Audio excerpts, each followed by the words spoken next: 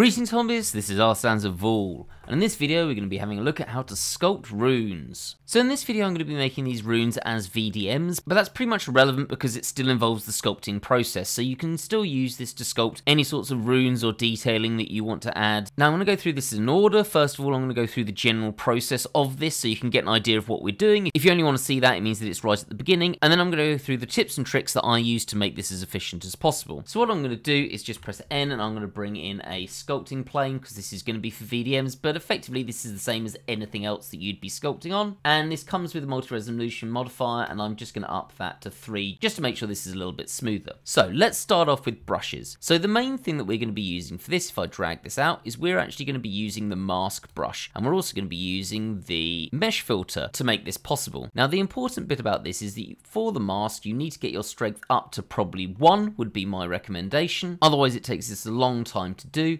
And the big thing that you're going to need to decide is how you want to use this fall off. Effectively, I would say you've got a choice between smooth, smoother, or sometimes I use sharp, but only using one of these different stroke methods. I'll talk about that in a second. Now, I have heard someone say that they've used the constant for this, but I think that gives a worse result. So I'm just going to talk through the whole process really quickly, as I said, and we'll just compare these brushes. So let's start with the smooth. I'm just going to press F to get my brush a little bit smaller, and I'm just going to do a line there. And you can see we've got this strength at 1, so it gets the mask almost totally there on one stroke.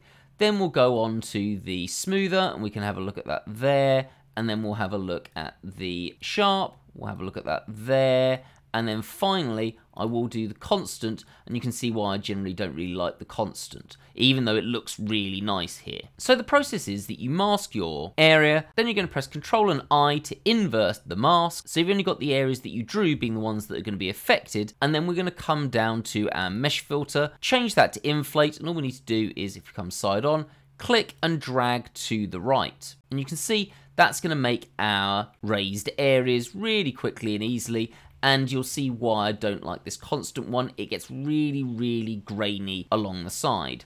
Now, you can see that we get some different profiles here with our smooth, smoother, and sharp being, well, the sharp is more pointed, though do note it's just around the edges, which might be what you want. And then you've got the smooth and the smoother being a little different in how they look.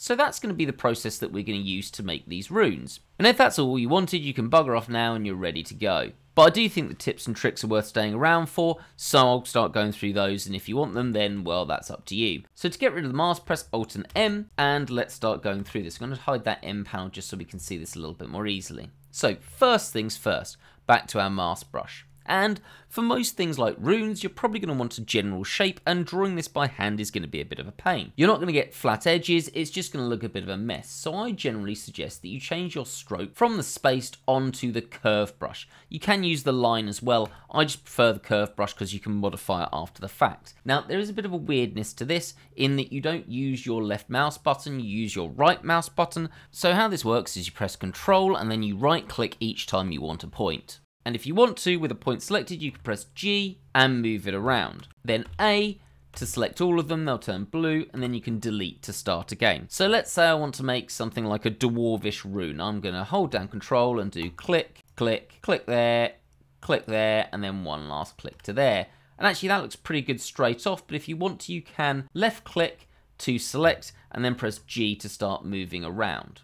Now, even though you can't see it here, the brush size does matter, so if you press F, Notice that the curve disappears, but it's still there. So I can make this a little bit smaller, and I would recommend that. And then we can always change the fall off still. I'm going to go with smooth, and then come back to this. So once you're happy with it, you just press Control and then left click, and you get your mask. And I'd recommend actually, this does cause some problems on the overlaps here, so I actually click two or three times to make this really clearly masked off, so you don't have any layers of some bits are slightly masked but you can barely see it. So that's the first tip. Second tip, if you want this to not have these curved edges, which, let's be honest, aren't really great for, let's say, something like a dwarvish rune, if you come up to the mask menu and click grow mask, so that's why I made this a little bit smaller, so mask and then grow mask, It'll get a little bit larger, but it makes these nice squared off edges. And I actually think they look really interesting and dwarf-like. So that's my next tip, is if you want these sort of squared off edges, use that mask and then grow mask. Next tip, if I control an I to invert this and come back to our mesh filter and then start trying to do this, it won't work. I am clicking now. And there's a reason for that. It seems to be a bit hidden, and it's obviously a bit of an issue with Blender. This shouldn't be the case. But that's because we've still got our curve stroke method going.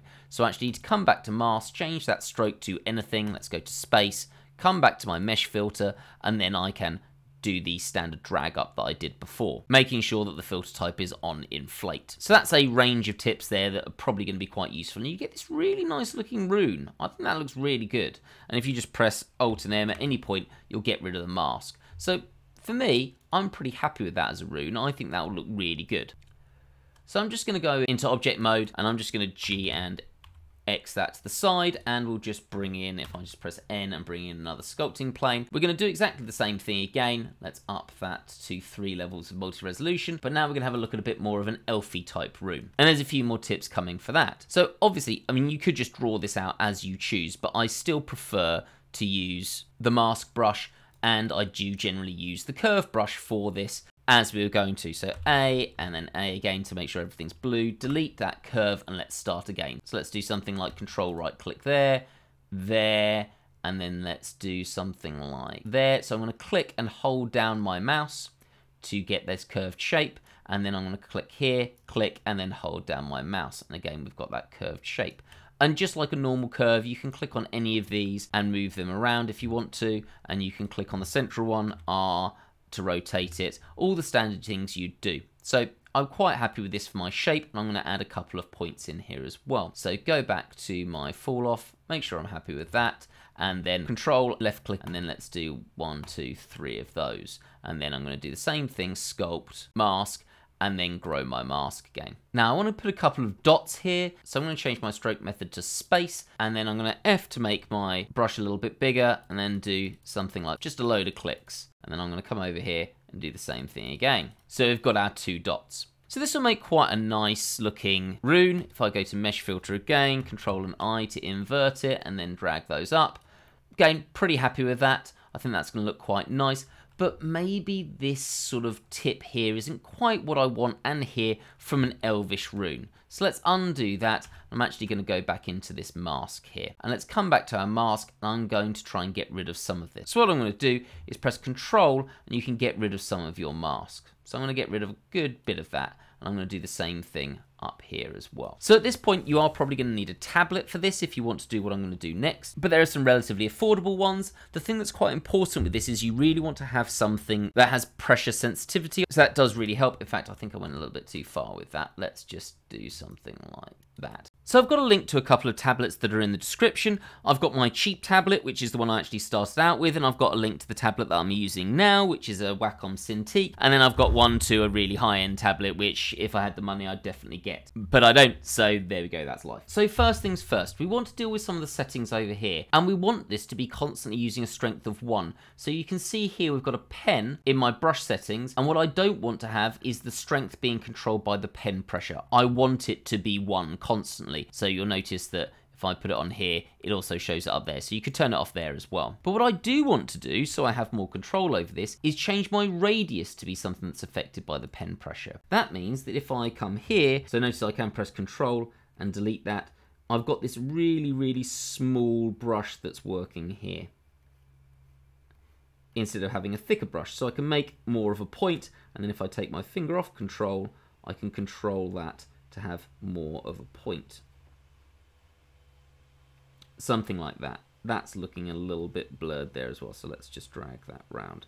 So this gives you more control over your brush because you can select this or select how sharp the point is of your tip effectively. So you can fiddle around with that until you're happy with it. I'm going to do the same thing here, so let's just do something like that. So having this pen pressure is really, really useful for being able to get these really fine little points. And you can still do things like press F and make the brush really fine, and then that just means that your tiny little pen movements that you're like pushing really lightly make even more of a fine detailed impression. So you've got this double control there by using the tablet. If you don't have a tablet, obviously that's not something you can do, but it is quite nice to get these little bits of added finesse.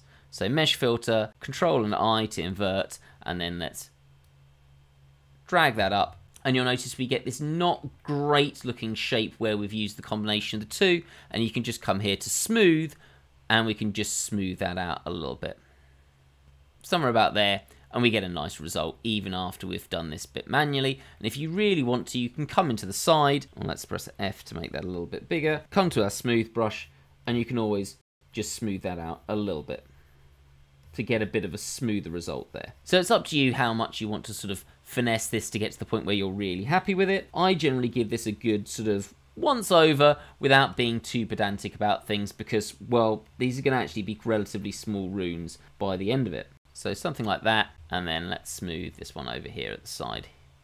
Just a little bit. There we go, to get this nice curved shape.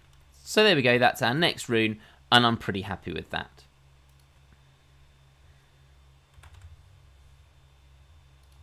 Now the final little tip that I just want to mention, I'm just going to do exactly the same thing. So just speed through this, but all we're doing is making the same Dwarvish rune as we did before. And then because you've still got your curve brush in exactly the same place, so you do have to be careful to align it, all you can do is press F, make your brush nice and small, let's go something like that, and then let's put our mask on again, and then mask, and then grow mask. And then what this will allow you to do is if I control and I invert it again, you could do something like the opposite. So I can change my stroke back to space, because you have to do that, mesh filter, inflate, and then instead of dragging to the right, I can drag to the left, and I can have my runes have a little bit more depth to them, for example, something like that, or you could go a little bit further if you want. So you get this really nice additional effect on them. So that's another little bit of fun you can have with the curve brush. It is quite tricky to get to work without the curve brush, but either way you can do it, and it just gives you a little bit more detail and depth if I just get rid of the mask, you can see you've got this little bit of extra difference between the two here where you've got the additional detail around the outside. And once you've got those sorted, you're good to go. You can do what we were doing at the beginning and just either sculpt these onto other areas or you can just convert them to VDMs as we've done in previous videos. I've got a link to that in the description if you want to have a look at how to create a VDM to be able to add these to objects. Hopefully that will give you some opportunities to have some fun with some runes and I hope you have a great day.